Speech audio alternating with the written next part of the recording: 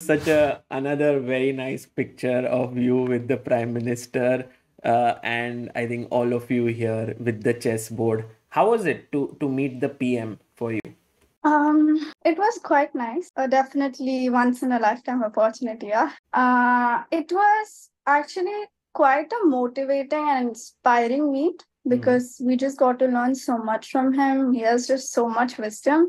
And I was just sitting there for one hour, soaking it all in. Like I was barely able to talk the whole time. Like like what what did you learn from this uh, meet? Because you know like uh, there were not chess discussion per se like hardcore, but so what did you learn uh, from the PM? Okay, so mainly though a lot of things, but the one thing that stuck out to me was that uh, he was telling us how even after being the prime minister uh, of a, such a big country like India, you should always be open to criticism and how you should always be open to feedback and it's never too late to learn.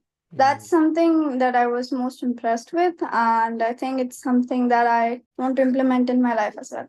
Wow, that's so nice. I also loved that uh, small interaction which has come out online where, uh, you know, uh, you say um, something like ऐसे ही हो गया something like this you said a line and then prime minister is like हाँ ऐसे ही जीत गए gold and you are like नहीं सर ऐसे ही नहीं जीते बहुत मेहनत की है you know it is such a nice sort of exchange या Yeah, it was it was quite nice meeting.